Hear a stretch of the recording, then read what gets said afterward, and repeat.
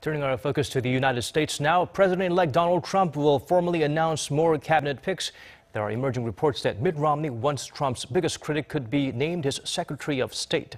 Kim Jung-soo brings us up to speed on how the incoming administration is taking shape.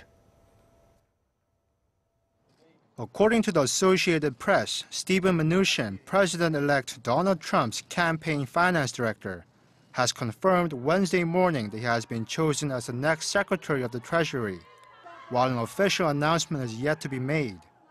The news comes just minutes after Trump announced via Twitter that he will sever all ties with his ongoing business operations as he wants to avoid having a conflict of interest while running the country.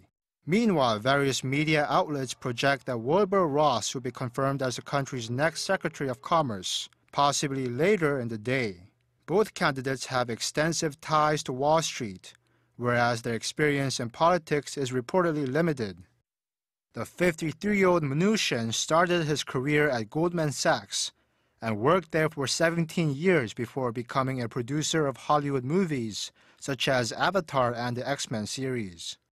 He has been quoted in the past about his intent to lower taxes and regulations, but experts agree that Mnuchin is severely underexperienced in matters of public policy.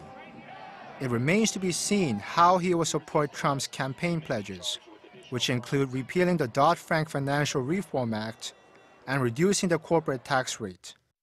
The 79-year-old Ross, meanwhile, is a private equity billionaire. He worked 24 years in the investment banking company Rothschild Inc. and helped Trump retain control of his casinos, which have been under threat from lenders by striking a deal with them. Meanwhile, Trump met with Mitt Romney and Republican Party Chairman Reince Priebus in New York on Tuesday. In a quick meeting with reporters afterwards, Romney reportedly praised the president-elect, saying that Trump offered a vision that, quote, connected with the American people in a very powerful way.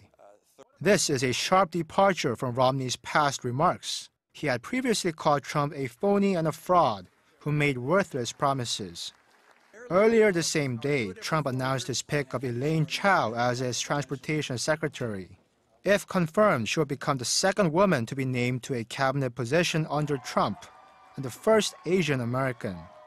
Trump has also named orthopedic surgeon and Republican Congressman Tom Price as health secretary. Kim Jung-soo, Arirang News.